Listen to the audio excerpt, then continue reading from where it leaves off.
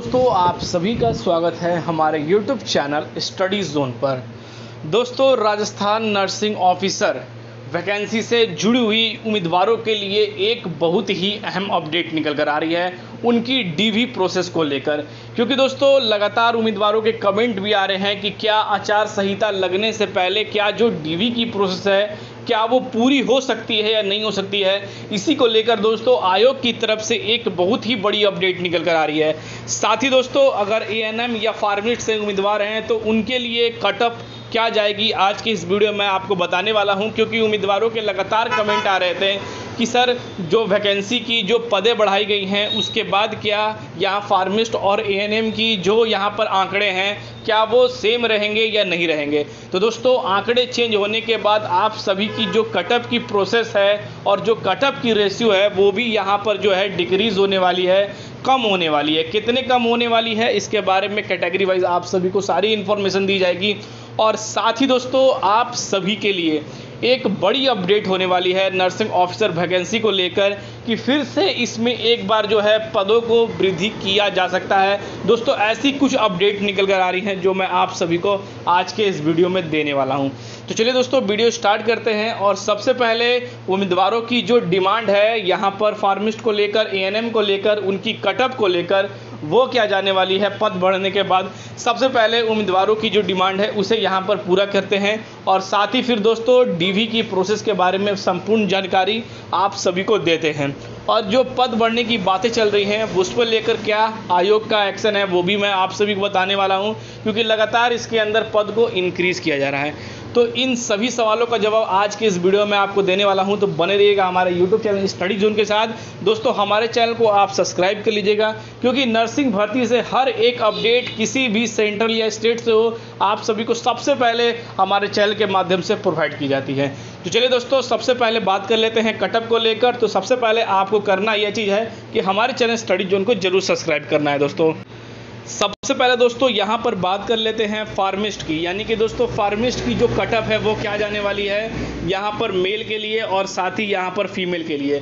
तो सबसे पहले जनरल के उम्मीदवारों के लिए बात कर लेते हैं। जनरल के उम्मीदवार अगर फार्मिस्ट के लिए दोस्तों अगर 61 परसेंट से लेकर 63 के बीच में ला रहे हैं जनरल कैंडिडेट तो वो इस बार 100 परसेंट इस वैकेंसी के लिए सेलेक्ट होने वाले हैं।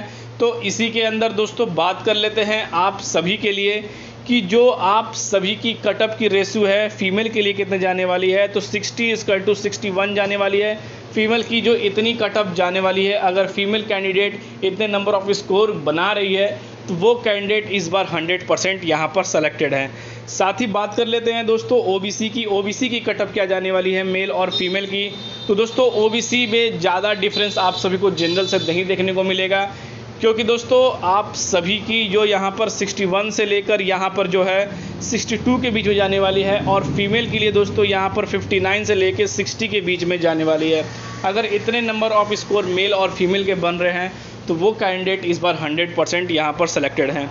अब दोस्तों ई e की बात कर रहे हैं तो ई e की जो कटअप है मेल की और फीमेल की, इस बार ओबीसी के मुताबिक थोड़ी ज़्यादा जाने वाली है।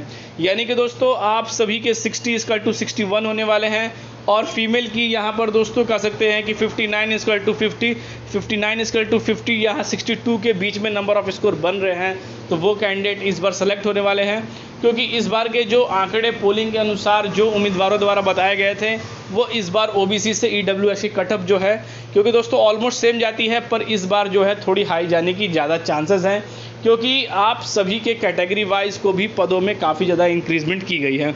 अब बात कर लेते हैं दोस्तों एससी और एसटी की कटअप को लेकर। यहाँ पर दोस्तों मेल और फीमेल को लेकर।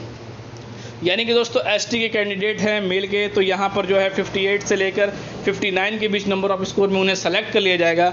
और साथ ही दोस्तों फीमेल के हैं तो यहाँ पर जो है 56 से लेकर 57 के बीच उन्हें यहाँ पर सेलेक्ट कर जाएगा। एसटी कैंडिडेट हैं तो 56 से लेकर यहाँ पर जो है दोस्तों 58 के बीच में उन्हें यहाँ पर इस वैकेंसी के लिए सेलेक्ट किया जाएगा। और फीमेल से हैं तो यहाँ पर 54 से लेकर 56 के बीच में या 55 के बीच में या 57 के बीच में नंबर स्कोर है तो उन्हें यहाँ पर दोस्तों 100 परसेंट यहाँ पर सेलेक्ट कर लिया जाएगा।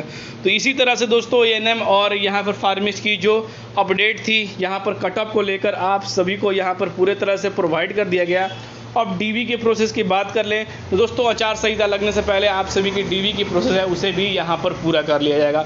उसके बारे में जल्द ही आप सभी के लिए अपडेट आने वाली है, क्योंकि ऑफिशियली अपडेट आयोग द्वारा जब आप सभी को शेयर की जाएगी या हमारे सोर्सों के माने अपडेट आएगी, तब आप सभी को ज़रूर हमारे चैनल के माध्यम से वो अपडेट शेयर किया जाएगा।